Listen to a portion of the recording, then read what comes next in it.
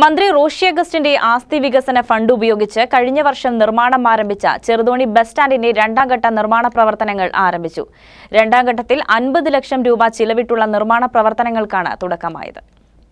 ആദ്യഘട്ടമായി അൻപത് ലക്ഷം രൂപ ചിലവിട്ട് ഒരു വർഷം മുമ്പ് നിർമ്മാണ പ്രവർത്തനങ്ങൾ ആരംഭിച്ചിരുന്നു. ഇതിനു പുറമെയാണ് ഈ സാമ്പത്തിക വർഷത്തിൽ മന്ത്രിയുടെ ആസ്തി വികസന ഫണ്ടിൽ നിന്നും നീക്കിവച്ച അൻപത് ലക്ഷം രൂപ ചിലവിട്ടുള്ള രണ്ടാം ഘട്ട നിർമ്മാണ പ്രവർത്തനങ്ങൾ ആരംഭിച്ചത്. ജില്ലാ panchayat president Jiji K Philip അധ്യക്ഷത വഹിച്ച ചടങ്ങിൽ മന്ത്രി റോഷി അഗസ്റ്റിൻ നിർമ്മാണ ഉദ്ഘാടനം നിർവഹിച്ചു.